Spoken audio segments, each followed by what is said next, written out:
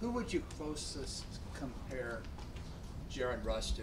Like a Sam Um, Buckner or or Soehner? Or, Yeah, I think probably the the Sam Buckner role is, is what he's done for us, but he does he is able to do a lot of the stuff that Soehner does, and I think he has more of a running back uh, element to his game too. Like he can get handoffs out of the backfield. He did play running back, went for a lot of yards as a high school running back, and as a big physical running back. So I think he's kind of like a blend of of Soehner, a blend of Sam Buckner, and then of like a, a big running back. So he kind of gives us all of those elements. has he thrown a pass yet?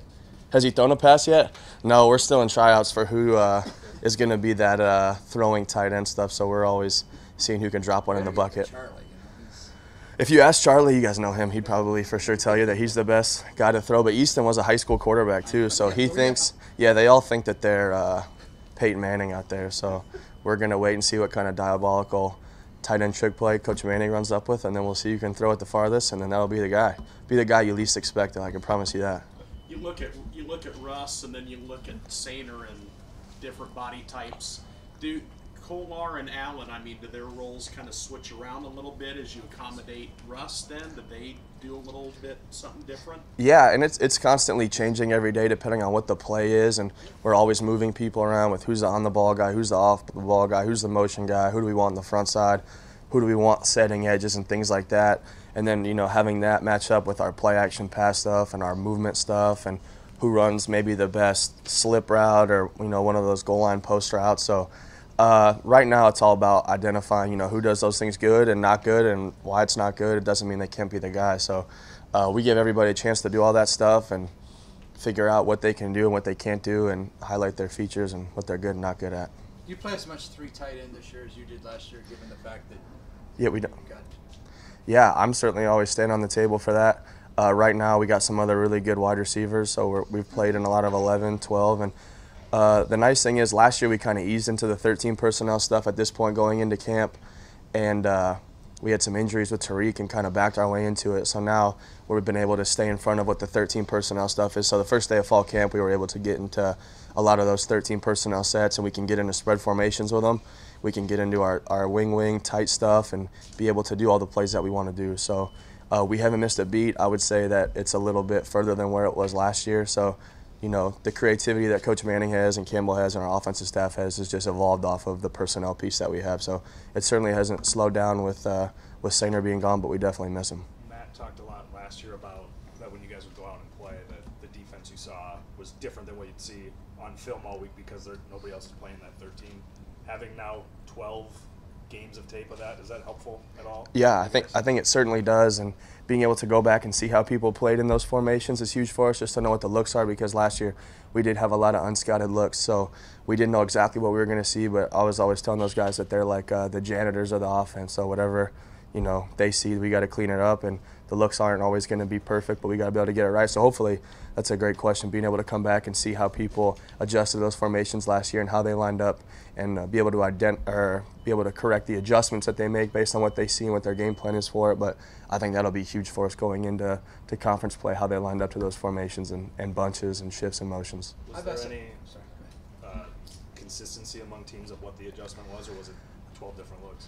Um, I think it was a little bit different because people would get into some of those formations, but they weren't in uh, the tight end sets that we were in. They were in 12 and 13 personnel, so it kind of gives us a place to start. And then uh, Coach Myers and myself and some of the people on the staff just kind of project what we think they're going to do or what they had done in the goal line, what they had done in the short yardage. And a lot of teams would treat that the same way. So if we got into 13 personnel on first and second down, a lot of teams would, you know, sub and put their goal line short yardage package, package in, which allowed us to be able to shift out and throw the ball and have an advantage there. So we kind of would blend what the look was with uh, the 11 personnel formations with the goal line and short yardage uh, personnel that they would put in. I've been asking some of the some of the coaches about about the recruiting aspect of recruiting athletes to a school where the athletes in four years might not know what won't know what conference they're in. Yep. What do you tell them if they have questions? Yeah. Um, luckily, up to this point, I, don't think we've necessarily had a lot of those things. I think we're at a good point for us where we have one of the best cultures in college football. We have an incredible head coach, and we've had a really successful offense, and we've won a lot of games. So uh, we haven't had to deal with a lot of the, the negative aspects in recruiting. That'll definitely be something I feel like people try to use against us because they can't poke holes in a lot of other areas. But um, I think if, if recruits want to come somewhere where they're going to have great relationships with their coaches, where they're going to develop them the right way and help them become the best version of themselves, then they shouldn't care exactly who they're going to play. And I don't think it, we have anybody on our team now that came here to play against uh, school X, Y, and Z. So they came here because they know Coach Campbell and our staff's going to make them the best version of themselves, and we're going to have a lot of fun doing it, and we're going to win football games. How have you seen Easton grow? How have I seen Easton grow? Well, I mean, what he, what Coach Andrews and I know I speak all the time with, with what he's done with our guys. He's grown physically from being like a, a small town Kansas quarterback guy.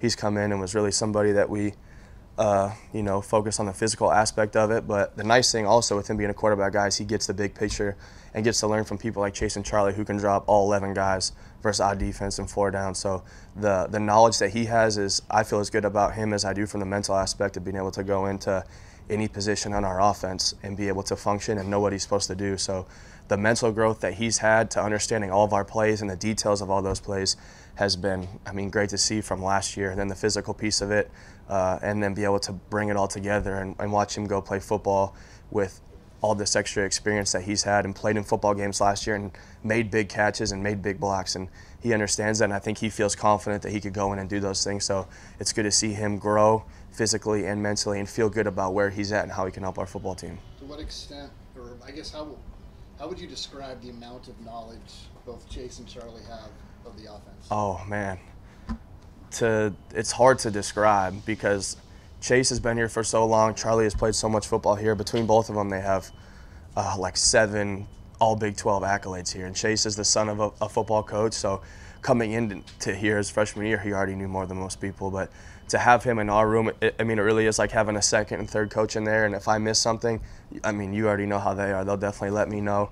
But it's uh, it's an incredible advantage. They know exactly what they're seeing when we get together on the bench. They know what, what the O line did. Like they come over and they talk to Coach Myers and myself, and they're like, the O line didn't make their combo call to the right spot, or and I'm not throwing you under the, the bus there, Coach Myers. That's just a, a metaphorical example, but they are are one step ahead most of the time, and I don't have to spend a lot of time talking to the people upstairs and and ask what the problem is. They're able to stay in front of that curve a little bit, so their knowledge.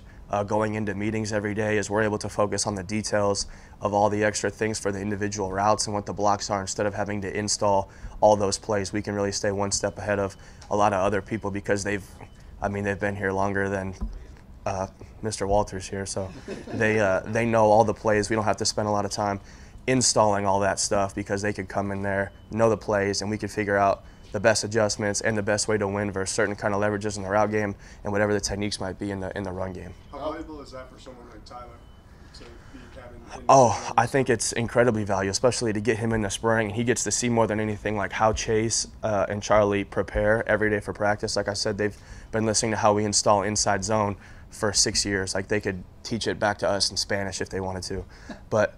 Uh, they get to see that Chase takes the same notes every single time. He takes the same approach every single day to, to perfecting his craft. So he gets to learn from that, like what it takes to, to be a pro and how you prepare and to not take days for granted and plays for granted because you never know when, when your number's going to get called. So I think he's learning uh, how to perfect his habits and how to perfect his process, if you will. So that side of it, the preparation part of it, I think it is as big as anything. And then be able to see what they do before practice, the extra work that they put in after practice, and what it takes to be a great player here has been, you know, invaluable. And it's been the best thing to get him here early, just not so he can learn from, you know, myself, but so he could see what those guys are like and how they became great players here.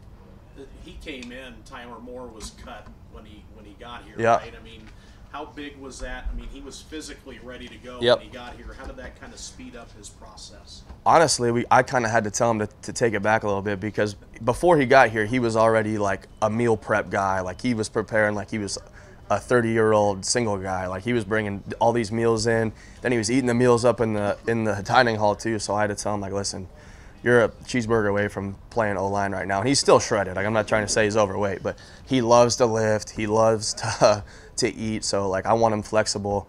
I want him fast because he can roll. Like he's really fast, and we I literally like the, the flexibility in the lower body for a lot of these tight ends to be able to get in and out of routes. So I think that was something that was new to him, but he came in. He was like a, a kid at Disney World here with the with the facilities and what Coach Andrews has done and what Rachel has done with our dining stuff. So he's been. I mean, he's loved every second of it. But to say that piece, I probably had to tell him that he needed to, to cut a few of those things back before he was getting. It's not, you know, world's strongest man. We're gonna play football. Are you still doing any special teams? Yeah, so me individually. Mm-hmm. Yeah, so uh, I don't. I'm not in charge of a unit, but I have responsibilities on punt team and kickoff return team and kickoff. We have it all split up within our coaches, and we're all responsible for certain people. So that's been a good thing for me with the the punt team and things like that. How do we correlate the footwork with our mid zone and inside zone stuff? And a lot of those tight ends have are familiar with the footwork piece of it, and certainly the the toughness piece of it isn't an issue for. But yeah, I, I have developed a, a nice little role on special teams. Obviously, Charlie and Chase are polished pieces for you. Mhm. What do you hope the progression looks like this season? Yeah, I think that uh, I've up to this point I've kind of switched what their roles have been in the past, just to kind of get Charlie to do what Chase did and get Chase to do what Charlie's done. So to be able to plug them in places that they aren't comfortable with, and you know, highlight what their flaws have been as much as you know, people might not think that they have them, but they certainly do. So it, it's fun to get those guys in uncomfortable spots, spots, and you know, have Charlie be the on the ball guy and block people for power and put Chase out here and have him run double moves off of people. So we've really like put everything under a microscope and we've analyzed everything from, you know, stance and foot angles to top of the route. Like we'll pause it and, you know, evaluate weight distribution at the top of a route. All right, where are their eyes at when they're in their stem and who are they looking at? All right, defensive recognition. What coverage is this? Why are they running this coverage? All right, it's third and long. We have outside leverage man. Like, what does that mean to us? How does it affect our route? So we spend a lot of time on the individual aspect of it and understanding the big picture, not just for what we're trying to get out of our offensive play, but why is the defense playing us like this? All right, they played it here. All right, on first down. All right, what's the adjustment for when we get back in this formation? Okay, they made the adjustment here when we got out of unbalance.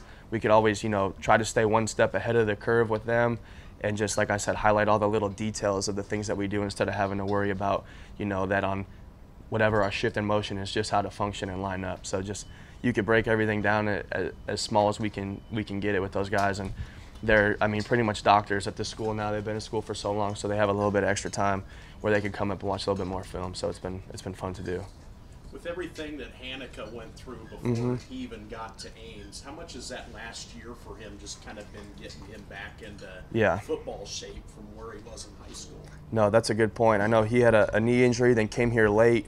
All right, so he didn't get the the whole the whole summer like a lot of other guys did, and I know we had the COVID short and stuff. So he kind of came in and got thrown right into the fire. So to be able to have him and get him on a flexibility circuit, all right, for that lower body, I talked a little bit about flexibility and how important it is for me with those tight ends.